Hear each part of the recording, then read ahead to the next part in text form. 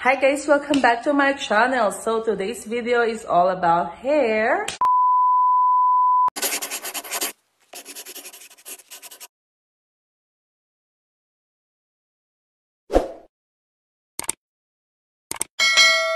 Diba, magre-reban ako.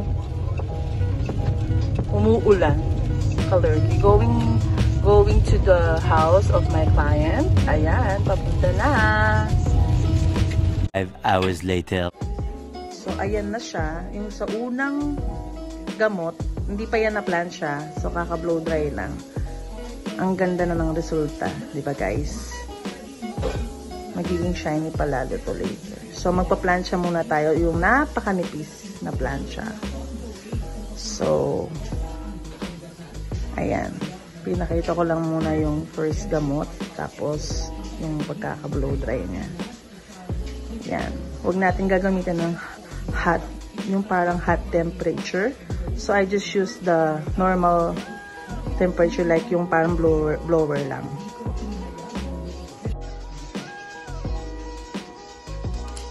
Ayun guys. So, yung temperature ko is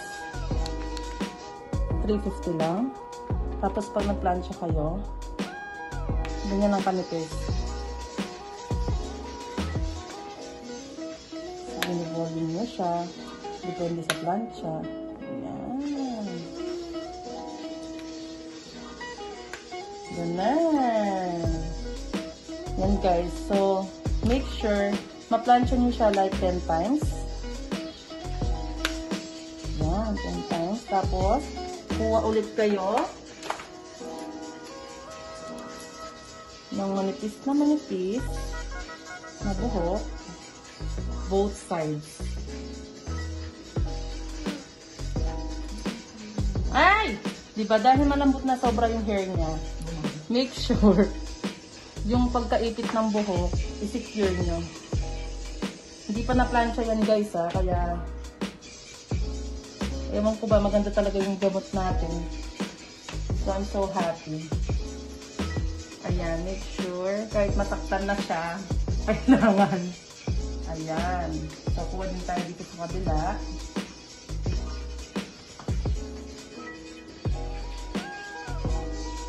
Diba? Ang lambot. Ayan. So, unang plancha pa lang to guys. Ayan. So, plancha ulit.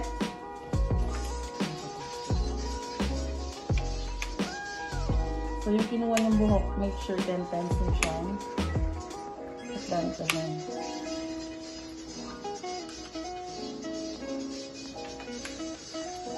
Tapos binigulin mo siya paloob. Kasi yung length ng hair niya nasa shoulder niya. May tendency magpa-flower yan.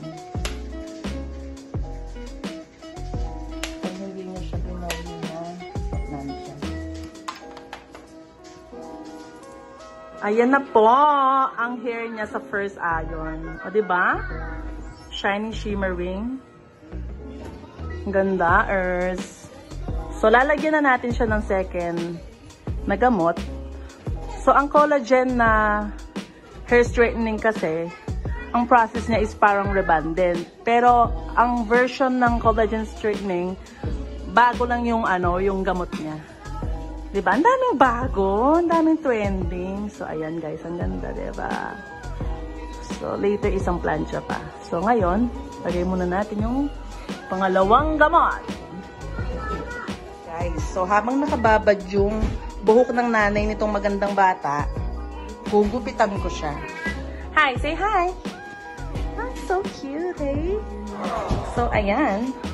Dahil we, we have to wait like 30 to 45 minutes dun sa buhok ng nanay niya, gugupitan ko muna tong baby na maganda. Ayan.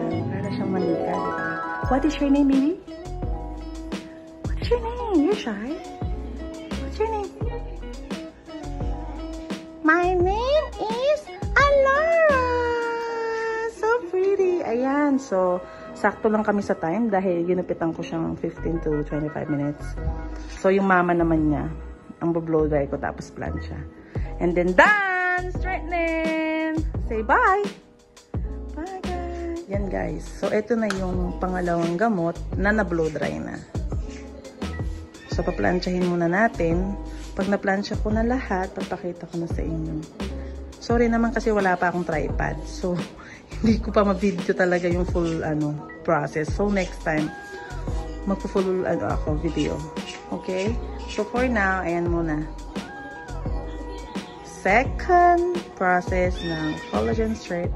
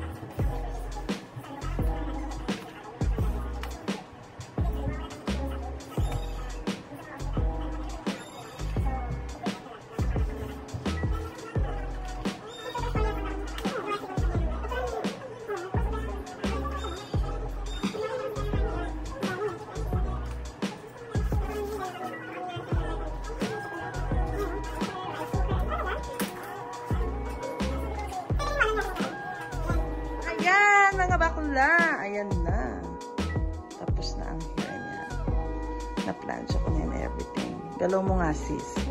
O, diba? Sumusunod. O, diba? Ang ganda ng hair niya. Ayan. Mamaya makikita niyo yung face niya. Hindi pa kasi siya ano yung nag-makeup. So, mamaya papakita natin kung sino ba itong magandang babaeng to. Isa pang pag-wagay-way dyan. O, diba? O, siya. Later naman. Guys, so after ko mag-reban, dahil nagutom ang lola mo, pinaganda nila ako ng masarap na food. Iba talaga pagkapampangan. Oh, naku. Lagi meron masarap na foods. Kain tayo. May sili pa. Ayun na po, ang babae sa likod ng buhok. Oh, di ba? Ganda, ganda. Ipakailiya pa mo. Ayan po, ang ganda diba ng hair niya. Ayan. So, masaya na kami pareha sa resulta. Ayan na. Oh, wala nang volume yung hair. Actually, ayaw niya kasi yung volume dahil medyo thick ang hair. So, kaya nagpa-straight ang lola niyo. Mas maganda pa yung color niya. Parang meron siyang highlights sa baba. Ganun. Hi guys, so yun ang process ng uh, collagen straight. So, bayan na, atching ako. Ayan guys, so pag uh, nag hair straightening kayo ng buhok, make sure pag yung unang gamot na in-apply nyo, chine-check nyo siya every 10 to 15 minutes kung luto na yung buhok. Lalo na, hindi, hindi, nasa Canada tayo, I don't accept clients na merong color yung buhok, especially na light, lightening or bleach, dahil masusunog talagang buhok kahit ka, gaano pa kaganda ang inyong gamot. Anyways, um, dahil nakagraduate na ako dito sa Canada, so I, I'm I'm just sharing my my experiences at saka for 15 years na gumagawa ng hair um, safety first lagi yung lag, lagi kong ini-explain sa mga client ko. So, hindi lahat pwedeng i-riban, hindi lahat pwedeng i-straight ang buhok. You can say no, lalo na sa mga um, nagwo-work sa fast food industry kasi though, yes, gusto nila ma- maging straight ang mga buhok, lalo na Asian like me, kasi yun yung mga trends. Pero, ibang-iba kasi we have four season in, in, in here in Canada. So yun, hindi lahat puro pera lang, hindi lahat puro kita lang. So dapat you have to take care of your clients, mahalin mo yung clients mo. So yun, hindi lahat uh, pwedeng i-reban, pwedeng i-straight ang buhok. So yun nga, going back do sa ina-explain ko like dun sa gamot na unang-unang gamot na ina-apply always check pagluto na. At malalaman nyo yon pag tinay mo yung buhok tapos dumidikit na siya. Pag hindi pa dumikit, hindi pa siya luto. So, hayaan nyo lang. So, after nun, pag uh, okay na, iwawash yun yung hair. uh, ng shampoo and conditioner. And after that, of course, blow dry and uh, iron. Yung pagka-iron ng hair, make sure na manipis lang. Tapos 10 times lang, wag ma para hindi ma-overheat. So after that again, lagay na yung pangalawang gamot. Parang yun yung pinaka-moisturizer para mag-lock in yung unang gamot na nilagay nyo. So, ganun yung pagre-reban.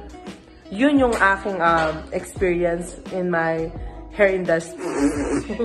Hi guys! After a tiring day, ayan, kasama ko na yung aking mga anakis. So, ayan. Don't forget to, to subscribe to my channel, guys. See you in my next video.